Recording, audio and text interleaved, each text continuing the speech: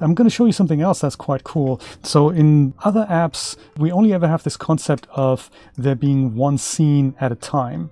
Like in, in Blender, if you wanted to have a different scene open, you'd have to essentially go and open a second instance of Blender. And uh, in Unreal Engine, we have this concept of levels. So this was kind of the precursor of the world streaming that we have now, so that uh, cells as you approach them automatically load and unload. But for cinematics, the sort of thing that we do here is not really world streaming. We don't really need that. So here, what I can do, and this is exciting for different lighting scenarios. So instead of just having one level, you can have multiple level attached to one main level. So like all the lights that are in this level, I can go and copy out and move to a different level. And then I can switch that level on and off. And that's kind of an exciting concept here. So I'll go and make myself a new folder. I'll call that one sub levels, just so that I know what that is. And uh, up here, I'm going to go and create a new level.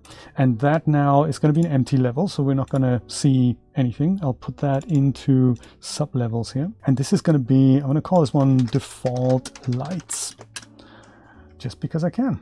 And then in default light, so this one's now highlighted or highlight. So if you go to your highlighter and you grab all the lighting bits and pieces and select those that come with the default level, you can go and right click here and say move selected actors to level.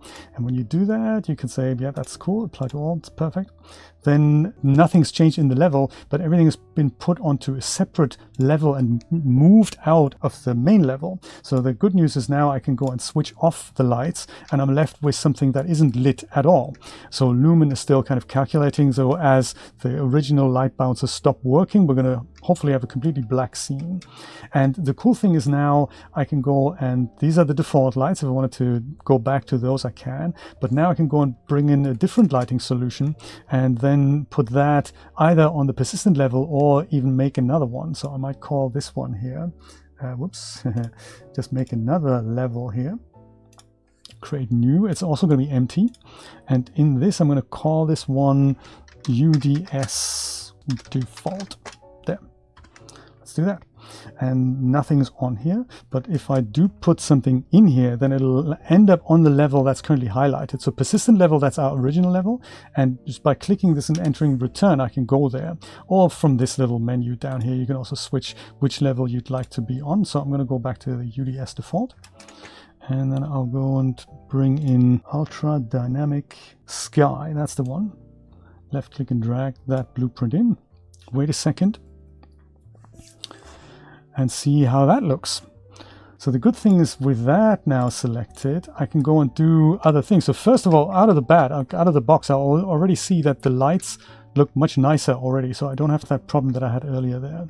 And also we have we have weather options now that we can dial in and uh, spin things around. I always forget where that is. We can animate the time of day. And we can start the day as well. So the dusk dawn time what was that again? The time of day is currently 960 it's kind of 9.30 in the morning i guess but if you wanted to make it six o'clock then the whole thing takes on a very different very different very different look and feel. Or we can make it like 12 o'clock. Oh that that's midnight now isn't it? Also skies come out. Skies and the sun all that comes out. There's the moon that's quite cool. That's quite nice. So then three in the morning, the moon moves. So as you animate this value, you can actually see the moon travel. That's kind of nice, isn't it? So 500, the moon, moon goes down.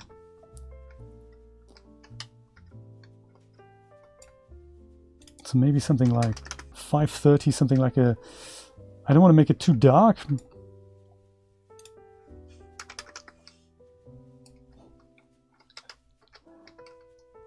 that could look really cool.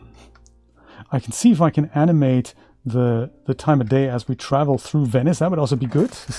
it's good, isn't it? There's another one. This one was free a while ago. It's not free anymore, but you have to buy this. But it's a good one by Everett Gunther. He made this. And the other one that's similar to this is called Easy Sky. That's by a Dutch company. That's kind of similar. The other cool thing about this is that um, if I just bring in a like let's say let's let's call it 11. Let's do 11. Uh, this has a weather component as well. So if I go and left click and drag the weather in, then it, I think, automatically finds ultra dynamic sky. So it works in conjunction with it. And it, I believe, uh, goes and kind of hooks up and it goes and produces rain and all kinds of other effects. So also very, very cool. If we wanted to have it rain, then, you know, now, now it rains. and there's some other presets that you have so you can have it like you know thunderstorms and thicker cloud coverage and all that so that's that's all that's all possible i don't know if i'm going to use it but uh, it's it's definitely it's definitely possible here's there clear skies i can go and switch that back to clear skies that's quite nice or you bring it to cloudy if we think you know cloudy is nice some puddles on the floor already that's kind of cool or we go and make it foggy. So that's kind of the, the fog that I would probably use instead of the one that came with the level. But it being foggy, you don't see any any definition in the sky. So maybe something like a like a clear sky would have been would have been nicer. There's a bit of overcast weather, also possible. Partly cloudy. Oh, it's not partly cloudy. Yeah, it's a little bit partly cloudy. That's that's not bad partly cloudy. We see some definition in the sky. That is that's quite nice. Crank up the saturation a little bit and, and we're almost there.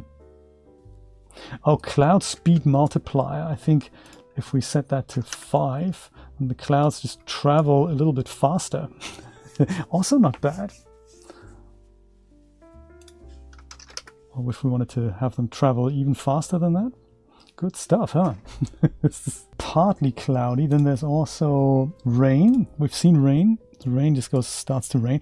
There is a very cool function in this. I mean, look, you can see the material being affected on the ground already, but if you wanted to see this, these puddles animate, there is a material change that you can make. And then that, that also happens. So this is kind of a, kind of a cool way to see actual animations in rain. There's also, if you had objects, do we have objects here? We don't. But if we did, you could get this um, the materials to hook into the ultra dynamic weather and then you'd see things like leaking down on cars and barrels it's very it's very cool it's a it's, it's just a, a, node you have to plug in i don't think i'll do that because it'll be a bit you know it just all of this takes time i think i just want to find a nice mood here rain and thunderstorm as well. Well, that's I don't think it's I don't I don't see it thundering. Sandstorm, also not bad. Gives us an apocalyptic feel. and then maybe snow as well. Is it snowing? I can't tell. Oh, there we go. It's snowing now. Easy Sky does is that it doesn't have snow as such it has the concept of a temperature. So you say, well, there is rain, but if the temperature happens to be below zero degrees centigrade, the rain turns into snow. That's also nice, a nice way of doing it. So now we have we have a Christmas scene here, snow blizzard. Oh yeah, very nice. now we have Venice in the winter. Yeah, I think on second thought here, I think from here to there, this looks nice, but because we keep encountering these bridges, it might just be disruptive, I'm thinking. And I don't want to rip the set apart and take the bridges out, that'd be that'd be bad. I'm also not sure about the blizzard atmosphere, so I might I might not do that. or maybe I will, I don't know. What do you think? Blizzard or no blizzard? Clear skies? Rain? I, I don't I don't know what to use now. But yeah, this was my original idea. Be close to the water and just have something like this, and then there's there's going to be you know people walking past there. Maybe the bridges don't matter so much. Maybe I will do that first, and I'll see what what happened. And then we're going the other way, left to right. So I think I might I might do that. No blizzard, but bridges are fine. Okay, great, Brian. That really helps. Thank you.